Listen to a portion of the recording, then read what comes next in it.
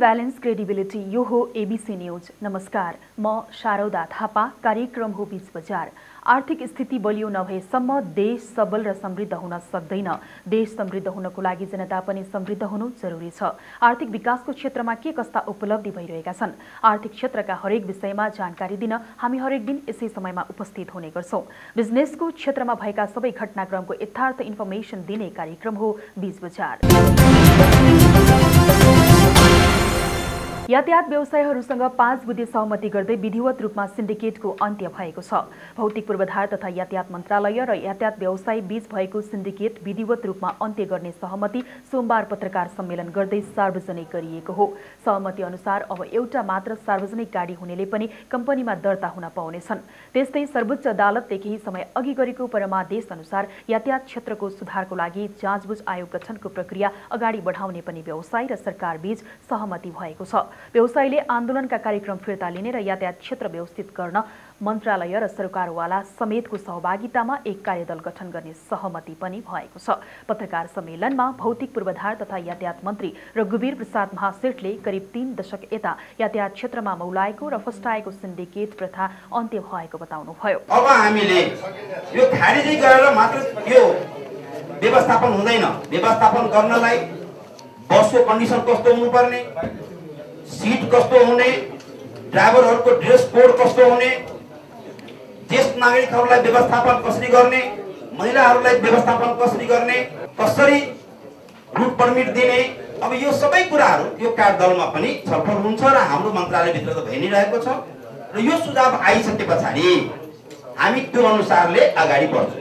त्यसै गरी राष्ट्रिय यातायात व्यवसाय महासंघका अध्यक्ष योगेन्द्र कर्माचार्यले आफूहरू सिन्डिकेटको विरोधी भएको र अब देशमा रहेको सबै खाले सिन्डिकेट हटाउनु पर्ने बताउनुभयो। व्यवसायहरूमा भएको सहमति अनुसार एउटा मात्र सार्वजनिक सवारी साधन भएको सवारी धनीले पनि सवारी सञ्चालन गर्न पाउनेछन्। सरकारले सिन्डिकेट खारेज गर्ने विधिवत निर्णय गरेपछि त्यसको विरोध गर्दै यातायात व्यवसायहरूले अनिश्चितकालीन आम हडताल सहितको आन्दोलनको कार्यक्रम घोषणा गरे पनि सरकारले आन्दोलनलाई असफल बनाएको थियो। संस्कृति पर्यटन तथा नागरिक उड्डयन मन्त्री रविन्द्र अधिकारीले पर्यटन क्षेत्रको विकासको लागि आवश्यक पूर्वाधार विकास गर्ने प्रतिबद्धता जनाउनु भएको छ। मन्त्री अधिकारीले आर्थिक गतिलाई बढावा दिने गरी सरकारले पर्यटन क्षेत्रको विकास गर्ने योजना अघि सार्नुभयो। सोमबार काठमाडौँमा आयोजित नेपाली रैथाने खानाहरूको अन्तर्राष्ट्रियकरण अभियानको शुभारम्भ गर्दै मन्त्री अधिकारीले सरकार आर्थिक गतिविधि बढाउने खालको खानाको परिकारलाई अन्तर्राष्ट्रिय स्तरमा प्रवर्धन गर्न लागि पर्ने बताउनुभयो। उहाँले नेपाली खानालाई विश्वव्यापी बनाउन सरकारले विदेश स्थित नेपाली दूतावास गैर आवासीय नेपाली मार्फत पहल गर्ने प्रतिबद्धता पनि व्यक्त गर्नुभयो। मेरो अध्ययनमा मैले खोजेका कुराहरू त्यसले गर्दाखेरि हामीलाई जहाँ जहाँ सम्भावना छ ती ठाउँहरूमा चाहिँ हामी त्यस्तो प्रडक्टहरू बनाउँ जाउँ र त्यो पूर्वाधारहरू निर्माण गर्न कार्यक्रममा नेपाली रैथाने खानाका परिकारहरू प्रदर्शन समेत गरिएको थियो। आर्थिक वर्ष दुई हजार पचहत्तर छयत्तरको बजेटलाई जनमुखी बनाउन माओवादी सांसदहरूले सुझाव दिएका छन्। सिंहदरबारमा सोमबार बसेको माओवादी संसदीय दल बैठकमा धारणा राख्दै सांसदहरूले मुलुक संघीयतामा गइसकेको अवस्थामा स्थानीय तहलाई समेत मध्यनजर गर्दै जनमुखी बजेट निर्माण गर्न सुझाव दिएका हुन्। साथै उनीहरूले निर्वाचनको बेला जारी घोषणा पत्रमा उल्लेख विषयलाई पनि बजेटले समेट्नु पर्ने जनाएका छन्। संघीयता र प्रदेश सरकारलाई सफल बनाउन बजेट प्रभावकारी बनाउनु पर्ने भनाइ छ। आर्थिक वर्ष पचहत्तर छयत्तरको बजेटको बारेमा छलफल गर्न बोलाइएको बैठक सांसदहरूले धारणा राख्ने क्रम नसकिएपछि भोलि पुनः बस्ने गरी स्थगित गरिएको माओवादी नेता देव गुरुङले जानकारी गराउनुभयो।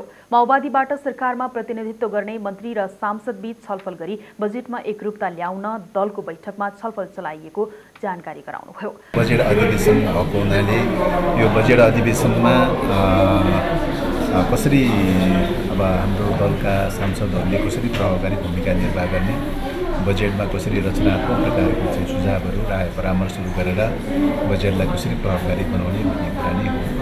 भोलि अर्थात् मङ्गलबार बाँकी सांसदहरूले धारणा राख्ने र पार्टी अध्यक्ष पुष्पकमल दाहाल प्रचण्डले सांसदले उठाएका प्रश्नको जवाफ दिने नेता गुरुङले बताउनुभयो। मंगलबार नै पार्टी अध्यक्ष प्रचण्डले समसामयिक विषयमा पनि दलको बैठकमा जानकारी गराउने कार्यसूची रहेको गुरुङको भनाइ छ। नेपाल राष्ट्र ब्याङ्कले सिन्डिकेटको पक्षमा लाग्ने देशभरका दुई सय पैँतालिस भन्दा बढी यातायात समितिहरूको ब्याङ्क खाता रोक्का गरेको छ। सिन्डिकेटको पक्षमा उभिने विभिन्न समितिको ब्याङ्क खाता रोक्का गरिएको राष्ट्र ब्याङ्कका प्रवक्ता नारायण प्रसाद पौडेलले जानकारी दिनुभयो। गृह मन्त्रालय र यातायात व्यवस्था विभागले यातायात नचलाउने समितिहरूको ब्याङ्क खाता रोक्का गर्न निर्देशन दिएसँगै अधिकांश समितिको खाता रोक्का गरिएको हो। ब्याङ्कले समितिको खाता रोक्का गरेसँगै समितिले ब्याङ्क तथा वित्तीय संस्थाहरू रकम निकाल्ने निकाल्न पाउने छैनन्। सरकारले सार्वजनिक यातायातमा सिन्डिकेट गरी प्रतिस्पर्धात्मक अवस्थामा बाधा पुर्याएको भन्दै सम्पत्ति समेत छानबिन गर्न खाता रोक्का गरेको हो। केरा खेतीबाट राम्रो आमदानी गरेका चितवनका किसानलाई प्राकृतिक विपत्ति हावाहुरीले यति बेला बिचल्ली बनाएको छ। केही दिन अघि अज्ञात समूहले बाह्रजना किसानहरूले लगाएको केरा काटेर नष्ट गरेको केही समय नबित्दै विपत्तिले केरा खेती नष्ट गरेपछि उनीहरूको व्यवसाय झनै सङ्कटमा परेको हो। प्राकृतिक धार्मिक सांस्कृतिक महत्व बोकेको प्रदेश नम्बर तीनमा पर्यटन क्षेत्रको पहिचान गरी पर्यटन योजना बनाउन विज्ञहरूले सुझाव दिएका छन्। उद्योग पर्यटन वन तथा वातावरण मन्त्रालय प्रदेश नम्बर तीनले सोमबार काठमाडौँमा आयोजना गरेको सुझाव सङ्कलन तथा अन्तर्क्रियामा आर्थिक मेरुदण्डको रूपमा रहेको पर्यटन क्षेत्रलाई प्राथमिकतामा राखेर योजना बनाउन सुझाव दिएका हुन्। कार्यक्रममा पूर्व संस्कृति पर्यटन तथा नागरिक उड्डयन मन्त्री आनन्द राज पोखरेलले प्रदेश नम्बर तीनमा भारतका हिन्दू धर्मावलम्बी र चीनका बुद्ध धर्मावलम्बीहरूलाई भित्राउन सके मात्र पनि पर्यटन क्षेत्रको विकास हुने बताउनुभयो। प्रदेश नम्बर तीन मुलुककै राजधानी सहर र सबै धर्म वेशभूषा संस्कृति भएको नागरिक बसोबास गर्ने भएकोले सबै जातिलाई समावेश गरेर सांस्कृतिक सङ्ग्रहालय बनाउनु पर्नेमा जोड दिनुभयो। सांस्कृतिक सङ्ग्रहालयको रूपमा व्याख्या गर्नुपर्छ र त्यस अनुसार राख्नुपर्छ कल्चरको भेडो पनि हुन्छ उहाँलाई पनि खुसी लाग्छ यसले भन्ने मलाई लाग्छ। त्यो ढङ्गले विकास गरेर जानुपर्छ र कम्तीमा यसलाई चाहिँ खुला सांस्कृतिक विश्वविद्यालयको रूपमा नेपाल रहन सक्छ जुन ठाउँको छ पर्छ भनेर डेभलप गरेको छ भने चाहिँ फेरि इन्द्र सरोवरलाई एउटा बिजनेसको रूपमा प्रस्तावित गरेका छ भने सुरुवात गर्ने। कम्तीमा हिजो सुरुवात गरेका चिज पहिल्यैसित छुट्याएको चिजलाई त्यति बेला आउँदाखेरि प्रदेश नम्बर तीनका उद्योग पर्यटन वन तथा वातावरण मन्त्री अरुण प्रसाद नेपालले प्रदेश नम्बर तीनलाई पर्यटन मैत्री प्रदेश निर्माण गर्नको लागि उक्त कार्यक्रम आयोजना गरेको बताउनुभयो। नेपालमा सन् दुई हजार सत्रमा नौ लाख चालिस हजार दुई सय चौध र सन् दुई हजार अठारको तीन महिनामा दुई लाख सतासी हजार तिन सय असी बाह्य पर्यटक भित्रिएको नेपाल पर्यटन बोर्डले जनाएको छ। बीच बजारमा अब समय ब्रेकको। ब्रेकपछि हामी फेरि आउनेछौँ। एबिसी बीच बजार खुला छ।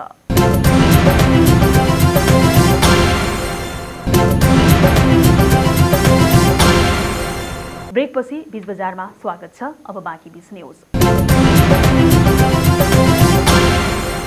नेपाल धितोपत्र बोर्डले वैशाख छब्बिस र सत्ताइस गते काठमाडौँको भ्रिकुटी मण्डपमा पुँजी बजार सम्बन्धी प्रदर्शनी गर्ने भएको छ।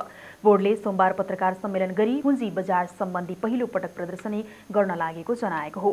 बोर्डको रजत जयन्तीको अवसर पारी आयोजना गरिएको प्रदर्शनीमा नेपाल स्टक एक्सचेन्ज धितोपत्र दलाल कम्पनी मर्चेन्ट ब्याङ्कर सामूहिक लगानी कोष क्रेडिट रेटिङ कम्पनी नेपाल राष्ट्र ब्याङ्क बिमा समिति लगायतका एक सय सत्तरीवटा स्थल रहने बोर्डका प्रवक्ता निरज गिरीले जानकारी दिनुभयो। प्रदर्शनीमा धितोपत्रको प्राथमिकता र बजार सम्बन्धी विविध जानकारी लिने व्यवस्था गरिएको पनि बोर्डले जनाएको छ। बोर्ड दुई हजार चौहत्तर जेठ पच्चिसदेखि आफ्नो स्थापनाको पच्चिसौँ वर्षमा प्रवेश गरी रजत जयन्ती वर्षमा प्रवेश गरेको अवसरमा पुँजी बजारको प्रदर्शनीको आयोजना गर्ने वार्षिक कार्यक्रम रहे बमोजिम नेपालको धितोपत्र बजारको इतिहासमा नै पहिलो पटक दुई हजार पचहत्तर वैशाख छब्बिसदेखि सत्ताइससम्म पुँजी बजार प्रदर्शनीको आयोजना गरिएको छ। प्रदर्शनीमा धितोपत्र बजार सम्बन्धी अध्ययन सामग्रीहरू निशुल्क वितरण गर्ने व्यवस्था पनि मिलाइएको छ। साताको दोस्रो सोमबार पनि सेयर बजारमा गिरावट आएको छ। सोमबार समग्र सेयर बजार कारोबारको मापन गर्ने नेप्से परिसूचकमा आठ दशमलव दुई सात अङ्कले गिरावट आई तेह्र सय पैँतालिस दशमलव तिन सात अङ्कले गिरावट आएको हो। आइतबार समग्र सेयर बजार कारोबारको मापन गर्ने नेप्से परिसूचकमा बाह्र दशमलव पाँच एक अङ्कले गिरावट आई तेह्र सय त्रिपन्न दशमलव छ चार अङ्कले गिरावट आएको थियो। सोमबार फ्लड इन्डेक्स र सेन्सिटिभ फ्लड इन्डेक्सको कारोबारमा पनि गिरावट आएको छ। सोमबार कारोबारमा आएका अन्य समूह बाहेक सबै परिसूचक सूचकहरूमा गिरावट आएको हो। सोमबार एक सय उनासाठी कम्पनीहरूको कारोबारबाट एघार लाख दुई हजार पाँच सय अडचालिस किता सेयर किनबेच भयो। यसै गरी कुल छ हजार तिन सय सतासी कारोबार सङ्ख्याबाट त्रिचालिस करोड बयालिस लाख छयालिस हजार नौ सय तेह्र रुपियाँको कारोबार भएको छ। सोमबार सबैभन्दा बढी बुटवल पावर कम्पनीले छ करोड पचपन्न लाख रुपियाँभन्दा बढीको कारोबार गरेको छ। सोमबार उन्नति माइक्रो फाइनेन्स वित्तीय संस्था समता माइक्रो फाइनेन्स वित्तीय संस्था बुटोल पावर कम्पनी लगायतका कम्पनीका सेयर धनीले सबैभन्दा बढी कमाएका छन् भने Karnali development bank oriental hotel Kankai Bikas bank लगायतका कम्पनीका सेयर धनीले सबैभन्दा बढी गुमाएको नेपाल स्टक एक्सचेन्जले जनाएको छ। साताको दोस्रो दिन सोमबार सुन र चाँदीको मूल्य बढ्यो। सोमबार छापावाल सुन तिन सय रुपियाँले बढेर प्रति तोला उनासाठी हजार रुपियाँमा कारोबार भयो। यस्तै तेजाबी सुनको मूल्य अन्ठाउन्न हजार सात सय प्रति तोला कायम भएको छ। सोमबार चाँदीको मूल्य पनि पाँच रुपियाँले बढेर प्रति तोला सात सय पैँसठीमा कारोबार भएको नेपाल सुन चाँदी व्यवसाय महासङ्घले जनाएको छ। यता अन्तर्राष्ट्रिय बजारमा कच्चा तेलको मूल्य स्थिर रहेको छ। सोमबार कच्चा तेलको मूल्य बढेर प्रति ब्यारेल चौहत्तर दशमलव आठ छ डलर कायम भएको नेपाल अल निगमले जनाएको छ। कम्प्लिट बिजनेस इन्फर्मेसनको बजार एबिसी बिच बजार आजलाई यति नै। गाउँ सहर र दुनियाँ बिउछाउने हाम्रो अभियान जारी छ। तपाईँले ABC news ABC Nepal dot TV login गरेर हेर्दै र पढ्दै गर्नुहोला। नमस्कार।